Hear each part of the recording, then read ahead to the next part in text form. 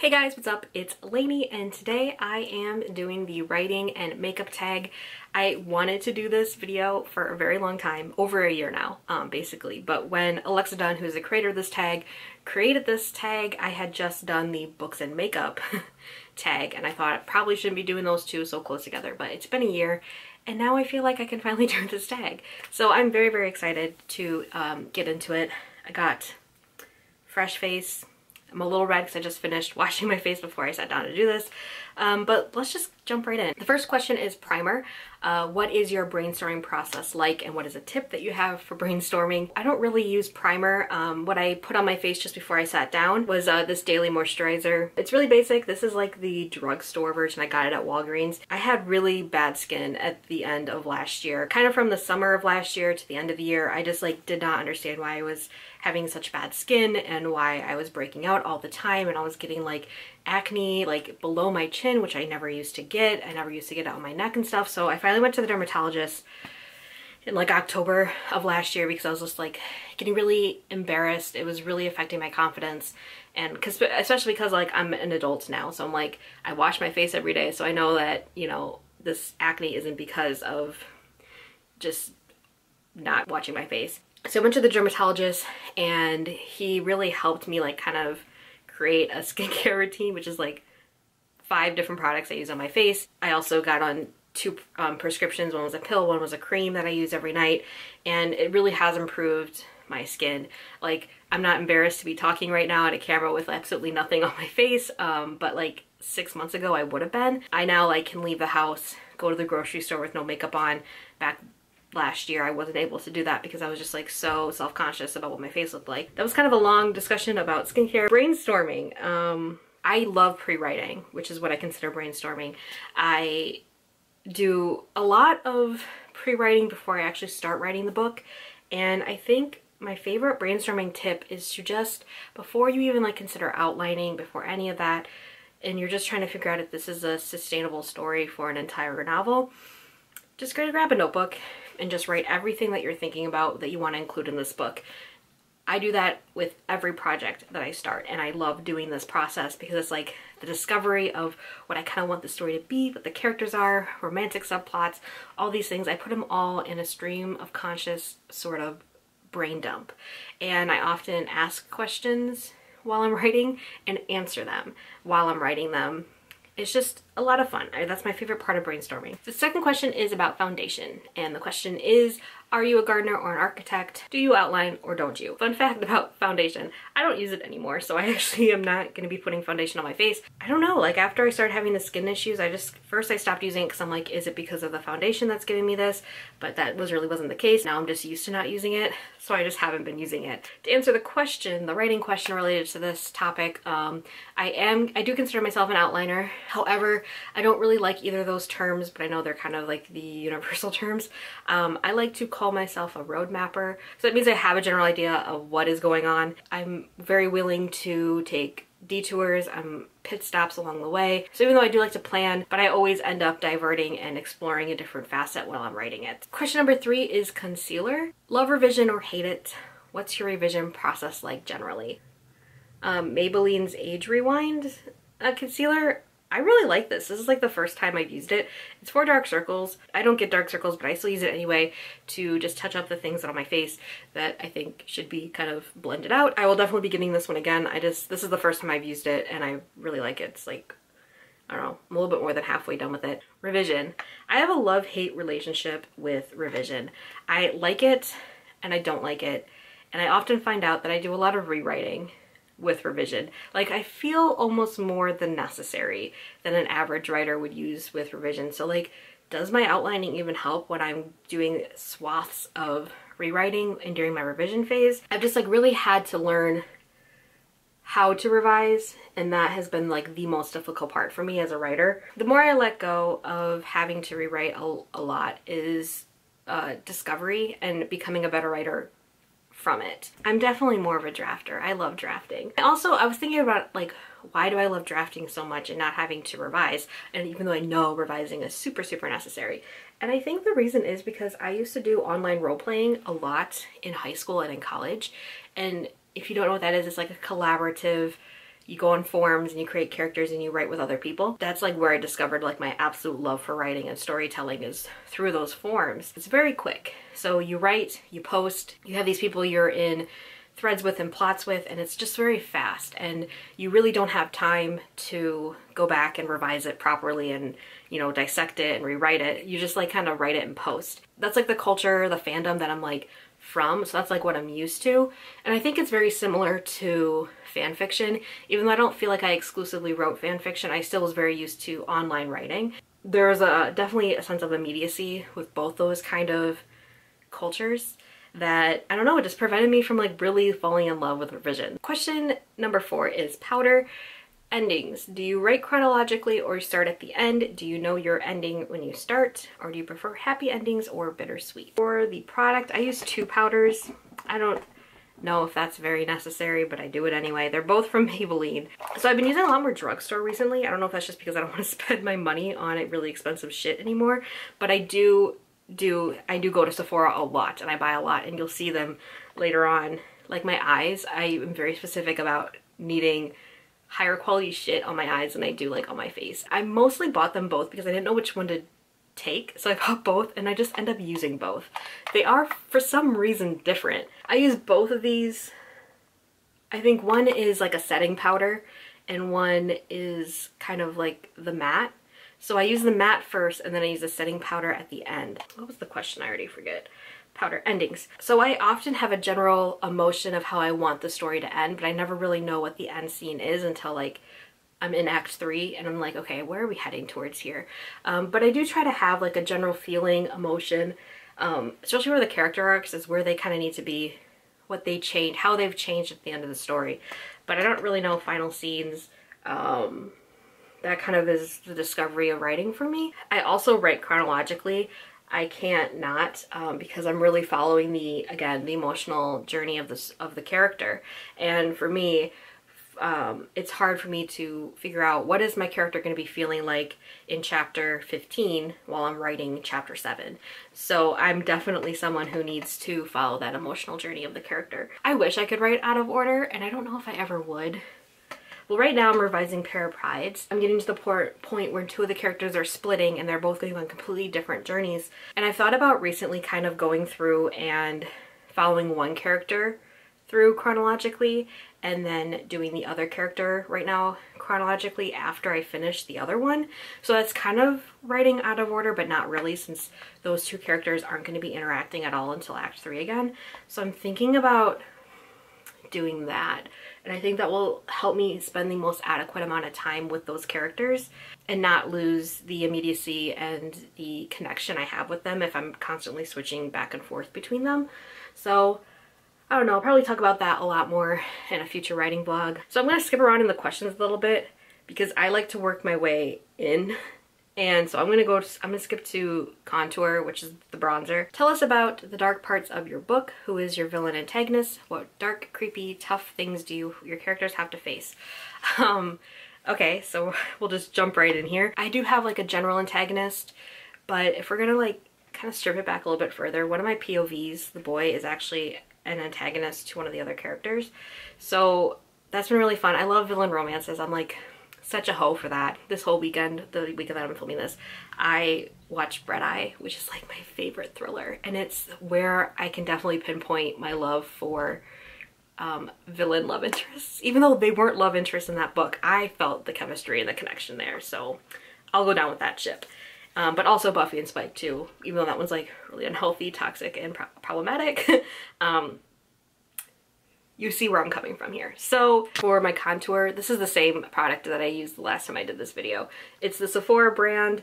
I got the Sephora brush and I don't go heavy on contouring at all. I'm just scared that I'll just have like a muddy face. So I do like a three kind of. I've been mostly just doing like a C. I haven't been doing much more than that. I just like really don't like bronzer, but I put it on because I feel like it it's necessary, I guess. What my characters are facing, they're all kind of facing different things. Um, one is having a really hard time accepting who they are as a person. Another one is having to deal with grief, which is something that I feel like I'm trying to work through on my own through this character uh, because I don't know how to deal with grief at all and it's been a couple years since someone, um, sorry, um, close to me has passed and I've had a really difficult time unpacking that. Sorry, I'm not one of those people that cry on YouTube, but um, I have a character going through something similar and it's just like really difficult for me to really go there. Just because me as a person, it's hard for me to understand. So there's that. And then of course identity. Identity is a theme. I feel like that's in all my books. Um, it's something I really struggled as a teenager. It was my identity and where I was and how those kind of things coincided with who I was as a person. That's always going to be theme in all my books. So get ready. Um, identity is a huge thing for me. It's uh, why I love to write young adult because I didn't really have that as a teenager, finding books that had me in them, I guess, in a broader sense. Um, so I love exploring identity and how we uh, come to terms with it. Okay, now I got a blend, which I've always talked about is the most important thing in uh, any beauty reg regimen, you gotta blend because if you don't, it it's not good. You can't really tell that I even put on bronzer, but I don't know. I still do it. Question number 10 is blush. Who are you most scared to share your work with? I don't use blush. I never have. I just think I'm too pale to pull it off. Um, but my parents. It's always gonna be my parents. Um, both sets. My my mom and my stepdad, my dad and my stepmom. I like don't want them to read my stuff. None of my parents have ever read any recent work. I feel like I might have shared some things when I was in college, but definitely not anything that I've been writing within the past like three or four years. The last part of the face is the highlighter. Um, favorite type of scene to write. I love tension, I love banter. Those are my favorite things to watch, so I definitely do that all the time in um, my books. For highlighter, I'm going to use a Sephora brand again, and I'm not going to use the right brush, so don't judge me, but I just couldn't find the brush I was looking for when I sat down to do this. Um, Sephora, again, I don't even know if this is my right color. They said it was my color when I went into the store and got it, but I'm not convinced. Can you even see that? I don't know. Sometimes I don't know about these this stuff. I'm probably also just like using the wrong brush to really highlight the highlight. But dialogue is my favorite thing to write too. I think that is where I do really well in, even though my critique partners tell me I'm really good at description. And I never felt like I was. so I think in my fear of writing description, it comes out better than I think it does. So I don't know. Okay, now we're gonna go back to eyebrows. Um, titles. Do you come up with them before you start, during, after? Is titling important? To you or no. I used to always think that they were really important. Like Sharp Hollow's Pair of Prides, those are the ones you guys are most familiar with. However, if I ever come up with like a better title, I'm fine with switching it. For Crow Family, which is one of the projects that I'm currently drafting, does not have a title yet. I don't know if I will come up with a title before I finish drafting or not. I just don't know. Um, for Pair Prides, I have a funny story about how I ended up with that title. I think I was writing Act 3 and I didn't have a title at that point. I think I was just gonna keep calling it Witch Pirates until I found a better title. And then I was at Target. I was walking by and on the end cap was men's underwear. The brand was called Pair of Thieves and I thought oh, that'd be such a cool name for a book. And then I was walking further down the aisle and I'm like, how can I incorporate that into my pirate book? So I'm like, hmm, Pair of Prides because the pirate ship that they are on is called the Vile Pride so they shorten it to the Pride. And then their best friends, pairs. Pairs are kind of important in the story, I've come to realize. So I just thought, pair prides, that sounds good. So thanks to men's underwear, did I come up with the title for a pair of prides. But again, I'm always willing to change titles if they need to. Also with eyebrows, I feel like mine never look as sickening as um, the stuff you see on Instagram and stuff and the beauty gurus. But you know, I just try to make it look filled in with a little bit of an extension at the end. And that's just how I do my eyebrows. My camera overheated. I just finished my eyebrows, but I let it cool down. So let's move on um, to my favorite part, I guess, is the eyeshadow. Eyeshadow, eyeliner, mascara, those are all my favorite things. My favorite thing about makeup is the eyes, I guess. Question number six is eyeshadow. Some people go monochromatic and some people blend. You should always blend, FYI. Do you love big or small casts and what's your favorite character development hack? This has been my favorite eyeshadow I've ever used. I've been using it since December. Stila Shimmer Liquid Eyeliners. I'm telling you, it's so easy and it looks so good. Um, I don't use a brush, you have to use your finger for it. But the key is to pat, not smear. This is typically all I use. I do use a little bit of powder eyeshadows for um, my brow bone and then under my eye, but we'll get to that later. Big or small cast. So I do really like big casts in books. Uh, they're my favorite. I always have to balance because I am someone who falls into character soup very often.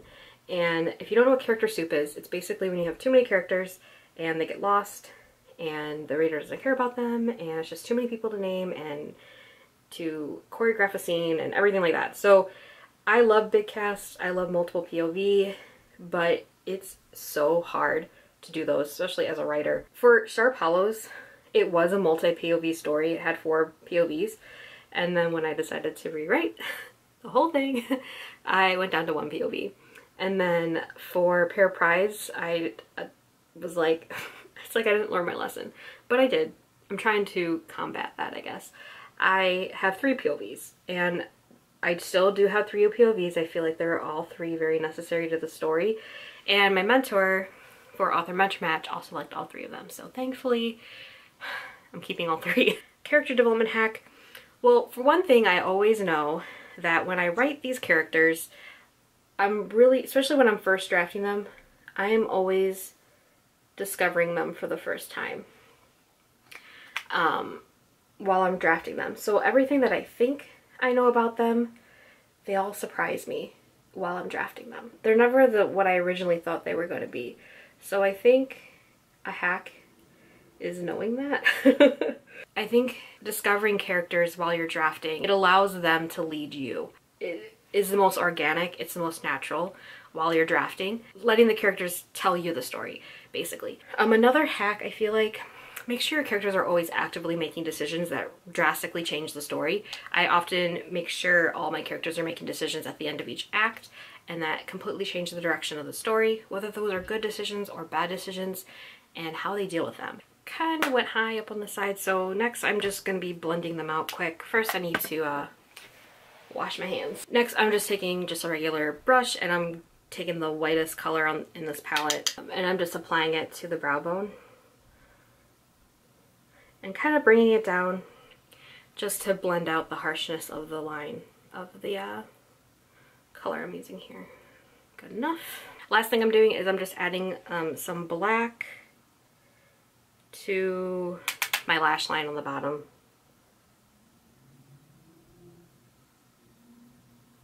Eyeliner. Eyeliner is my favorite, but it's the most difficult. um, but I always get compliments on it, so I'm doing something right. What's the hardest thing for you to write? Perfect, because this is the hardest thing to do.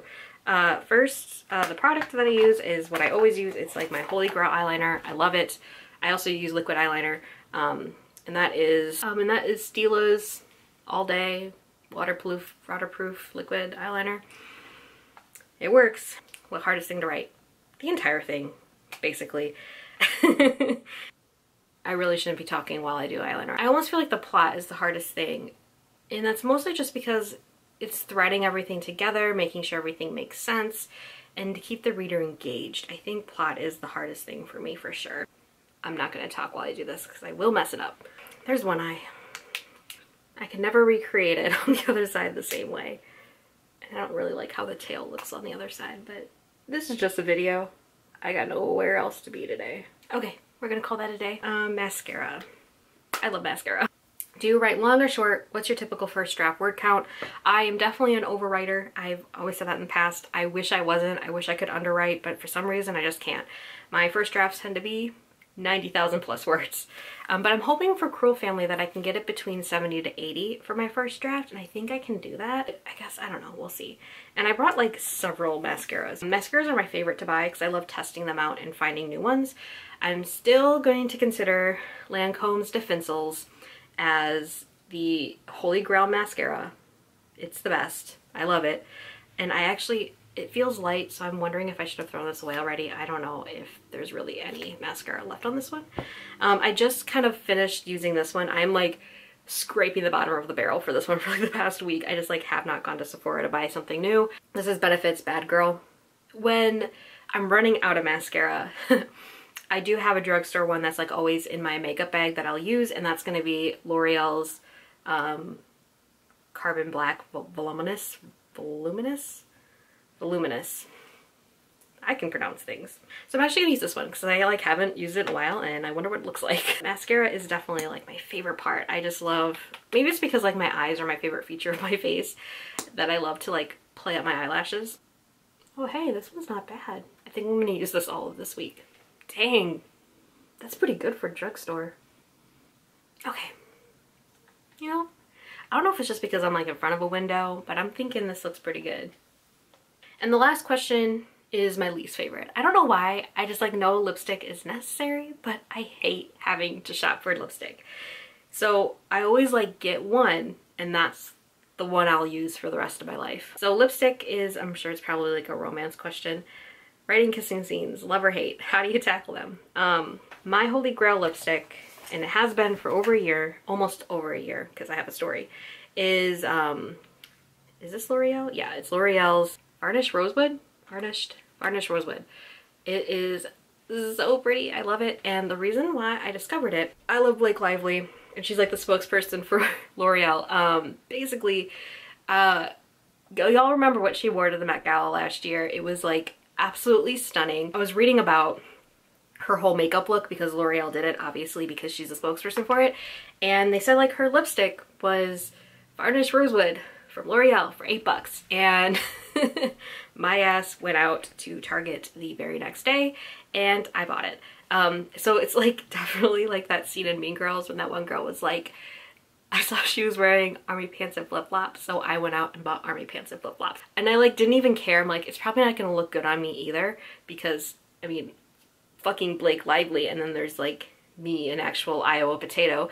But you know what? I actually like it. It looks, it's good everyday color. It gives me enough color on my face. I never do like blues or blacks or greens or anything like that, like purples. I don't think I can pull those colors off. So I'm always like kind of looking for like the nudie brown, like brownie reds. Those are kind of like the colors I gravitate towards. That's what I use. That's the story behind it. What's the question? Kissing scenes.